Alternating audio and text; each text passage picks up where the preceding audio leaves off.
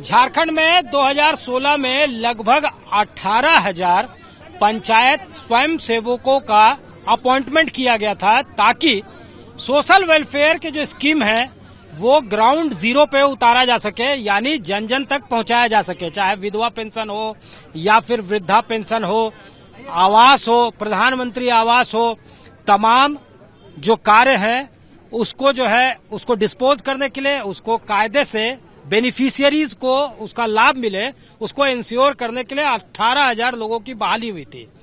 और बाद में जब चुनावी मौसम था 2019 में तो इनका कहना है कि उस वक्त इनको इनको, जो है, वायदा किया गया था। अभी जेएमएम नेतृत्व वाली जो सरकार बनी है, उसके घोषणा पत्र में कि आपका समायोजन कर लिया जाएगा। लेकिन समायोजन तो दूर, इनका आरोप है कि अब इनसे कोई काम भी नहीं लिया जा रहा है। यानी उसके बाद से जब से नई सरकार आई है, इनको एक पैसा भी यहाँ से नहीं मिला है। प्रोत्साहन राशि जो मिलता था, जब काम ही नहीं लिया जा रहा है तो ज़ाहिर तौर पे वो भी बंद कर दिया गया है। का अब जो है, ये लोग सड़कों पे है, आंदोलनरत है। अब आज इनका कार्यक्रम है सचिवालय को घेरने का। अब जो है, ये चार साल से लगातार इसी तरह से सड़कों पे हैं और इनसे कार्य नहीं लिया जा रहा है, जिसको लेकर इनके अंदर नाराज़गी है। इनका साफ़ तौर से कहना है कि जो रोज़गार हाथ में था रोज़गार तो नहीं मिला जो था वो भी छीन लिया जा रहा है। यही बात है कि अब ये सड़कों पे उतरने के उतर, उतरने को और आंदोलन करने को लेकर मजबूर है। इस वक्त हमारे साथ है क्या नाम है आपका? चंद्रदीप कुमार प्रदेश अध्यक्ष पंचायत अच्छा। सचिवालय स्वयं सेवक संघ। स्वयं सेवक संघ। अच्छा।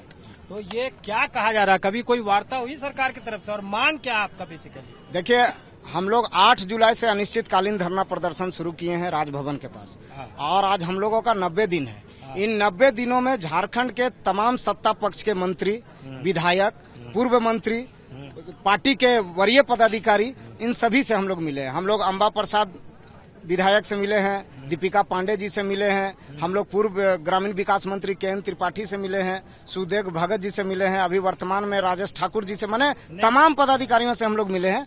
और हम लोगों का पाँच सूत्री मांग है सरकार से जिसमें पहला मांग है माननीय मुख्यमंत्री से दस सदस्यीय प्रतिनिधि मंडल की वार्ता। आज हम लोग नब्बे दिनों से इंतज़ार कर रहे हैं पर माननीय मुख्यमंत्री हम लोगों से वार्ता तक नहीं किए हैं। और हमारी दूसरी मांग है पंचायत सचिवालय स्वयं सेवक का समायोजन किया जाए पंचायती राज विभाग में। क्योंकि हम लोगों से चौदह विभागों का काम लिया जाता था और हम लोग को खुद पता नहीं था कि हम लोग किस विभाग के आदमी है। तो हम क्या काम लिया जाता है? एक आध काम बताइए। हम लोग को देखिए पंचायत में पहला तो पंचायत में समय से बैठना पंचायत भवन को पंचायत सचिवालय जैसा। हाँ। समय से खोलना बंद करना पंचायत में हम लोग को डिप्यूट किया गया था। और सरकार आपके द्वार का चूँकि पूर्व की सरकार में भी सरकार आपके द्वार का कार्यक्रम चली थी उसमें भी हम लोग योगदान दिए थे। प्रधानमंत्री आवास का काम में आपका पीडीएस विभाग में काम में आपका सरकार आपके द्वार के तहत जातीय आवासीय का सर्वे हुआ था आर्थिक सर्वेक्षण हुआ था। और हम लोगों का मतलब आप सरकार और जनता के बीच माध्यम है कड़ी है हम लोग। हाँ, कड़ी है ब्रिज के रूप में काम बिल्कुल हम लोग केंद्र सरकार और राज्य सरकार हाँ। जो योजना स्टेट से लागू होती है उस सरकार की योजनाओं को हम लोग अंतिम व्यक्ति तक हम लोग पहुँचाने का काम करते हैं। तो अब क्या कहा जा रहा है? आप लोगों से चार साल से काम नहीं लिया जा रहा। कब से काम नहीं लिया जा रहा? है देखिए जब से वर्तमान सरकार आई है तब से हम लोगों को इग्नोर किया जा रहा। है उसका जब कारण हम लोग पता किए तो कारण एक ही समझ में आया कि ग्रामीण विकास मंत्री जी का सोच था कि पूर्ववर्ती सरकार ने स्वयं सेवक जो शब्द है हम लोगों का वो आरएसएस ही लोग समझ बैठे थे। और जो कि हम लोग कई बार बता चुके हैं कि हम लोग सरकार के अधीन काम किए हैं सरकार की योजनाओं को धरातल पे उतारे हैं और हमारी जो नियुक्ति प्रक्रिया हुई है स्टेट लेवल में हुई है न कि केंद्र सरकार के स्तर पे हुई है। तो हम लोग चाहते हैं कि हमारा जो समायोजन है वो समायोजन हो हमारी जो पाँच सूत्री मांग है उसको मांग को सरकार पूरा करे। आप लोगों को मिलता था उस समय? हर हर काम का अलग अलग प्रोत्साहन राशि निर्धारित था। पर जिस समय सोहराय भवन में चुनाव से पहले माननीय मुख्यमंत्री जब संविदा समाप्त कार्यक्रम किए थे तो हमारे पंद्रह सदस्यीय प्रतिनिधि मंडल उनसे मिले थे। और उन्होंने सारी नियुक्ति प्रक्रिया को उन्होंने पढ़ा था, आधा घंटा तक उन्होंने सारे पेपर को देखा था। और उन्होंने स्पष्ट तौर पे बोला था कि माननीय रघुवर जी, आप लोगों का जो बहाली किए हैं, वो सादा पेपर में किए हैं। हमारी सरकार बनेगी तो आप लोगों का जो है समायोजन किया जाएगा, और आप लोग का मानदेय लागू किया जाएगा। आज हम लोग कई दफ़ा माननीय मुख्यमंत्री तक पहुँचने का प्रयास प्रयास किए हैं। आंदोलन से पहले भी कई दफ़ा जहाँ जहाँ उनका क्षेत्र भ्रमण हुआ वहाँ वहाँ जाके हम लोग अपना मांग पत्र नहीं दिए हैं। कभी भी हम लोग को बुलाया नहीं गया वार्ता नहीं आज किया गया। क्या आज हम लोगों का तब नब्बे दिनों के अंतराल में कई कार्यक्रम हम लोग किए हैं। आज जाके झारखंड मंत्रालय का घेराव कर रहे हैं। इनका साफ़ तौर से आरोप है कि राजनीति का ये शिकार हो गए हैं। जो पंचायत सचिवालय स्वयं सेवक संघ लिखा हुआ है। शायद इस सबसे इस सरकार को आपत्ति है और इनके साथ राजनीति हो रही है। इनका ये आरोप है।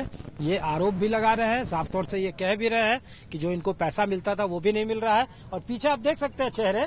सारे लोग जो है कहीं ना कहीं इसी योजना के तहत थे और वहाँ जो है अलग अलग योजनाओं को धरातल पे उतारने के लिए अलग अलग इनको जो है प्रोत्साहन राशि मिलता था। उससे भी ये लगातार वंचित है। ऐसे में अब ये आंदोलन पे हैं और बीते चार साल से 2019 के बाद से इनसे काम नहीं लिया जा रहा है। इसको लेकर इनके अंदर निराशा भी है और नाराज़गी भी है। कैमरामैन राकेश तिवारी के साथ सत्यजीत कुमार, रांची, आज तक।